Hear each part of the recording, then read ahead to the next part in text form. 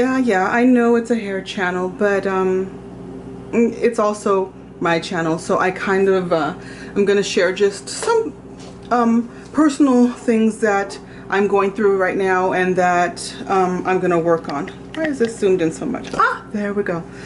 So, let's face it, I'm overweight. Um, I'm a size 14, 16, and um, about three years ago I had lost some weight and when my son went away to college I started to gain it back because I was depressed. And also I'm just greedy. I love um, I love to eat. I love ice cream and I love sweets and I need to cut back because really I need to be at least 50 pounds below where I'm at right now. And um, yeah I'm yeah I'm 200 probably like 206 to be honest. And I'm going through a depression. I look in the mirror and I just want to cry half the time. Or um, I see pictures that like my family members have taken and I go through their pictures and I delete them because it's, it's, I'm just not happy with it. And if I'm not happy with it, then what's my excuse for not changing it um, aside from pure laziness? And um, so I'm going to work on it. And what I've done is I've packed my gym bag and I'm gonna start going back to the gym early in the mornings. And if I have my gym bag in my purse or my car at all times, completely ready to go, I have no excuse not to do it. If a doctor came to me tomorrow and said, Rebecca, if you don't lose weight, you're gonna die. You're gonna die in the next five months. Would I get my butt up and do it then? You doggone jippy. I have no excuse not to conquer this weight problem that I have right now. I have no reason not to feel good about myself except for sheer pure laziness. And so I want to get on it because I am depressed and I don't feel good about myself. And I'm embarrassed to say that I've just gotten lazy. So that's the reason that you don't see my chubby self from the uh, neck down very often because I'm ashamed of um, my body. And, you know, I don't care if, you know, we've seen worse. It's about how I feel. And um, I deserve to feel good about myself. And nobody can change that except for me. So that's my goal. And um, I'm going to be sharing some of my journey here. And there's going to be days where I'm going to be lazy. And there's days that I'm going to not want to do it. But I need to do it. Because in order for me to just feel good, um, inside and out I need to motivate myself and I need to stay on top of it.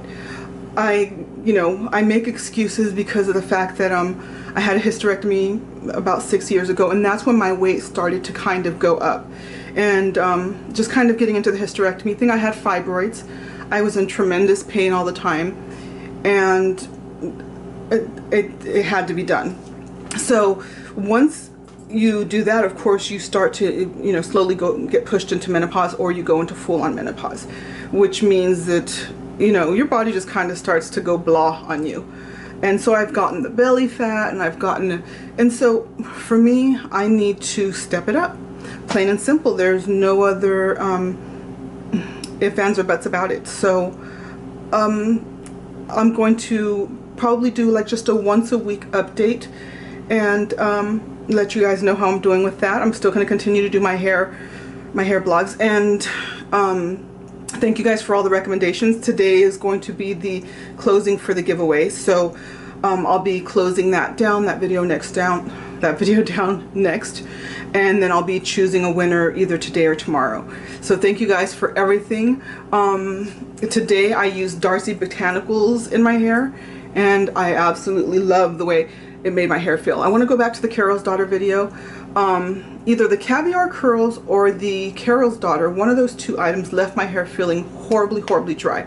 So I washed that stuff out that afternoon. Um, although my hair looked good, it didn't feel good at all. I mean, it just felt hard and brittle and dry. So um, I don't recommend using those two products together. Um, so yeah, I just really don't want to use either one of them again, to be honest with you, because I've found so many other things that make my hair feel soft. This honestly just makes my hair feel good, and I like um, just the definition that I get with Darcy's Botanical Cream Gel. That's what it is. So I'll give you guys a review on that soon. Um, I've used it before, but I have a feeling it's going to be one of my regulars. Unless, of course, they've sold or they've discontinued it. Because when I looked on CurlMart and when I looked at Darcy's Botanicals, they both say out of stock. So that freaks me out just a tiny bit, but I'll find out and let you guys know. Um, other than that, this has just kind of been a here and there and everywhere video. Thanks for watching. Thank you guys for all the support. And um, love you guys. Bye.